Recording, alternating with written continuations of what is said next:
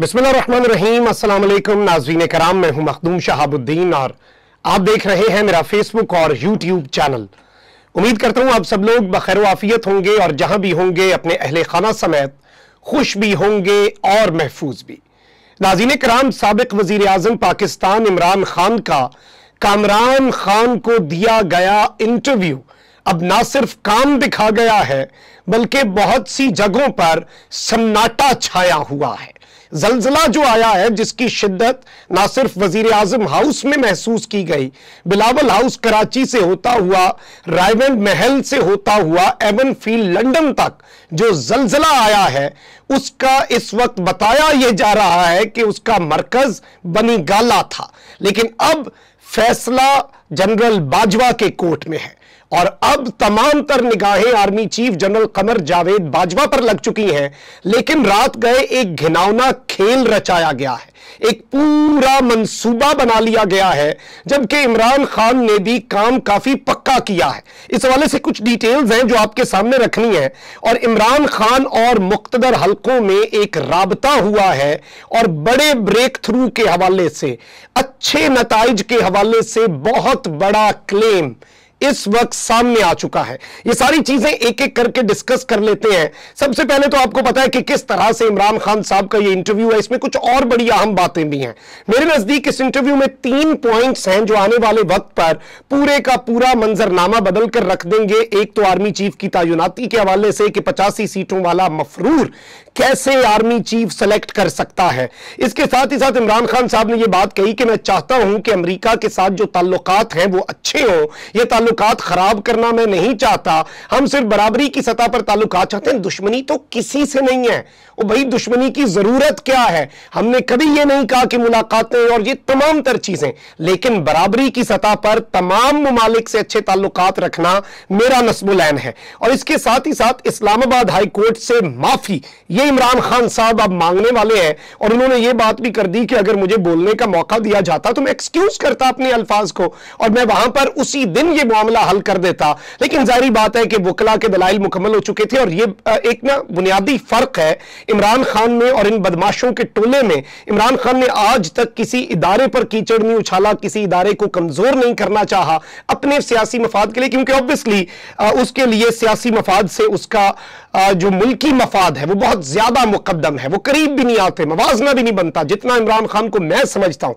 और इस वक्त भी इमरान खान साहब ने ये जो बात कही है, ये इदारों और मुल्क के मफाद में है। लेकिन इसका यह मतलब कतन नहीं है कि इमरान खान साहब अपने मौकफ से, अपने स्टांस से, अपने बयानिए से इवन इस इंटरव्यू के अंदर भी इमरान खान साहब ने यह बात की कि मैंने ज़िंदगी में ऐसी फाशिज्म नहीं देखी कि गुमनाम नंबरों से कॉल करके लोगों को धमकाया जाता है। और इमरान खान साहब ने यहाँ तक कहा कि मैंने शहबाज शरीफ से पूछा, उन्होंने ट्वीट करके भी शहबाज शरीफ को मुखातिब किया कि ये जो गुमनाम नंबरों से मीडिया को धमकियाँ दी जा रही हैं, बताओ ये तुम हो। अगर तुम नहीं हो तो बताओ कि गुमनाम नंबरों से ये कॉलें कौन कर रहा है? अब इमरान खान साहब ने जो डेफर करने की बात की है कि आर्मी चीफ की तयनाती उसकी डेफरमेंट हो जाए, नया जो भी शख्स आए, चाहे इमरान खान आए, चाहे कोई भी आए, वो एक बिल्कुल सेकेंडरी चीज़ है, कोई मैंडेट लेकर आता है तो वो अपने अगले आर्मी चीफ का तयन करे, मुल्क उसके साथ हो, कौम उसके साथ हो, कौम उसे एम्पावर करे, ये अहम तरीन फैसला लेने के लिए, क्योंकि पाकिस्तान में पाकिस्तान की फौज और पाकिस्तान की एस्टैब्लिशमेंट एक बहुत बड़ी हकीकत है। इसे फरामोश नहीं किया जा सकता। अब यहाँ पर ये इमरान खान साहब का एक बड़ा कमाल का आप इसे इन स्विंग यॉर्कर कह सकते हैं। और अब बहुत से हम ख्याल इनके नवाज़ जरदा इन सब पर सख्ता छाया हुआ है। और तोसी को अपने फ़ायदे के लिए, क्योंकि इनके अपने साफी कह चुके हैं शबाज शरीफ साहब तोसी देना चाहते हैं, नवाज़ शरीफ साहब कुछ और करना चाहते हैं, जरदारी साहब अपने फ़ायदे के लिए कुछ और करना चाहते हैं, लेकिन तोसी को अपने फ़ायदे के लिए इस्तेमाल करने वाले, अब ये बैठकर ज़रूर सोचेंगे। कि ये इमरान खान ने हमारे साथ कर क्या दिया है। लेकिन इसके बाद एक पूरा मुनजम प्रोपेगेंडा चलाया गया। गरीदा फारूकी साहिबा का ट्वीट है मैं पढ़ के सुना देता हूँ। Imran Khan army chief general Qamar Javed Bajwa को दूसरी एक्सटेंशन देने के हामी बन गए। सीनियर सहाफी कामरान खान के साथ इंटरव्यू भी आज नशर होगा। रोका नहीं जा रहा। साफ़ वाजे लग रहा है कि ना कहीं कोई पेशरफ हुई है। आ, और इस सब के अंदर कहा है कि Imran Khan establishment deal question mark आगे इन्होंने डाल दिया है तो ये कह रही है कि आज इंटरव्यू क्यों नहीं रोका गया? ये इशारा किया जा रहा है कि गालिबन इमरान खान एस्टैब्लिशमेंट कोई डील तो नहीं हो गई। इसके साथ ही साथ तलत हुसैन साहब जो है वो कह रहे हैं, जी, अब आर्मी चीफ को मनाने की अपनी तरफ़ से ये कोशिशें कर रहे हैं कि जी, अब एक्सटेंशन ना लें। कुछ दिनों पहले तक इनके जो वज़ीर आज़म साहब हैं, शबाज शरीफ साहब, वो एक्सटेंशन के हामी बने हुए थे। इनके अपने साफी ये बात कर रहे थे। तलत हुसैन साहब लिखते हैं कि general Qamar Javed Bajwa will make the second biggest mistake of his career अब पता नहीं ये पहली सबसे बड़ी गलती किसे कह रहे हैं गालिबन खान साहब को ही कह रहे होंगे और तब्दीली ऑपरेशन को कह रहे होंगे। कह रहे हैं कि ये दूसरी अपनी ज़िंदगी की, अपने करियर की सबसे बड़ी गलती करेंगे अगर वो एक और एक्सटेंशन को एक्सेप्ट कर लेते हैं। नो मैटर हाउ लिमिटेड चाहे वो जितनी ही छोटी सी एक्सटेंशन क्यों ना हो। यानी ऑब्वियसली जो एक पीरियड ऑफ़ टाइम है, एक महीना हो सकता है, दो महीना, जो लीगली एक नए इलेक्शन के लिए ज़रूरी होता है। The first cardinal mistake was to take of the first extension पहली एक्सटेंशन जो ली, वो भी एक बहुत बड़ी गलती थी और अब दूसरी एक्सटेंशन ये लेने जा रहे हैं। अलबत्ता उस वक्त इन्होंने सवाल नहीं उठाया जिनकी ये वजीफा खोर है उन्होंने भी तो वोट किया था इस एक्सटेंशन के लिए। अब जी और इन्होंने इनके साफी भी मैदान में आ गए और आर्मी चीफ को बताया जा रहा है कि नहीं जी एक्सटेंशन नहीं लेनी। एक हालिया महफिल में शर्तिया अंदाज में कहा गया कि तोसी नहीं ली जाएगी और ऐसी खबरें देने वालों को चैलेंज दिया गया कि अगर खबर गलत हुई तो क्या वो माफ़ी मांगेंगे।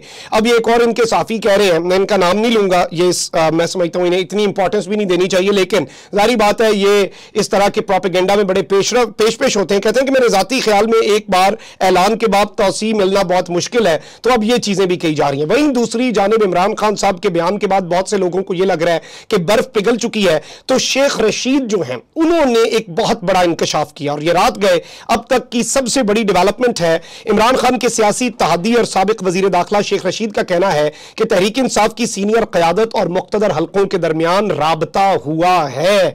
यानी कि पीटीआई की सीनियर लीडरशिप और पाकिस्तान के जो ताकतवर हल्के हैं, उनमें रबता हुआ है, जिसका नतीजा भी सामने नहीं आया। लेकिन जल्दी बेहतरी आएगी। बहुत जल्द बेहतरी की उम्मीद है।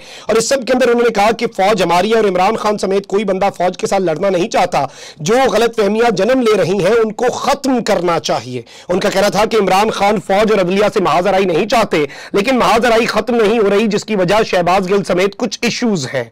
शेख रशीद ने कहा कि सिविल मिलिट्री ताल्लुक के हवाले से उनका यह कहना था कि स्टैब्लिशमेंट और हर हुकूमत के दरमियान तनाव रहता है और नवाज़ शरीफ ने तो इससे पहले जो कुछ किया, कि सारे आर्मी चीफ सबसे ज़्यादा लगाए, उनका तनाव रहा।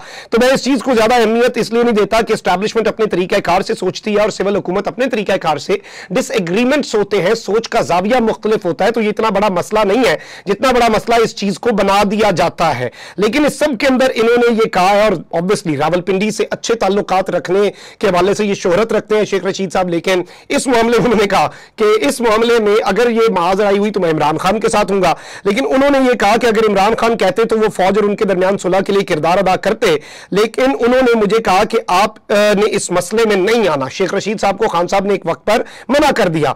और वज़ीर दाखिला ने कहा कि उन्होंने एस्टैब्लिशमेंट को कह दिया था कि अगर आपके इमरान खान के साथ इख्तलाफात पैदा हुए तो मैं इमरान खान के साथ चटान की तरह खड़ा रहूँगा और उन्होंने साबित किया। शेख रशीद से सब लोग यही एक्सपेक्ट कर रहे थे कि वो शायद इमरान खान का साथ छोड़ दें, लेकिन ऐसा नहीं हुआ। लेकिन अब इनकी तरफ़ से यह कहना कि पाकिस्तान तहरीक इंसाफ की सीनियर तरीन लीडरशिप जो है, वो मुख्तर हल्कों के साथ मिली है, मामला तय हुए हैं, बहुत जल्द अच्छे नतज आएँगे पॉजिटिव रिज़ल्ट आएँगे। और ऐसा लग रहा है कि इमरान खान का इंटरव्यू काम कर गया है। हु का आलम है, जलजले के झटके महसूस हो चुके हैं। कुछ लोगों को समझ नहीं आ रही क्या करना है। और जो ये इकदाम उठाने वाले थे, अब उस इकदाम से पीछे हटेंगे, क्या करेंगे? मामला इस वक्त जारी बात है, आर्मी चीफ के कोर्ट में भी है कि वो इस सब के ऊपर क्या राय रखते हैं। उस हवाले से भी कुछ चीज़ें हम कंफर्म करके, इंशाल्लाह आपके सामने रखेंगे। अपना बहुत ख्याल रखें। अल्लाह निगबान पाकिस्तान, जिंदाबाद।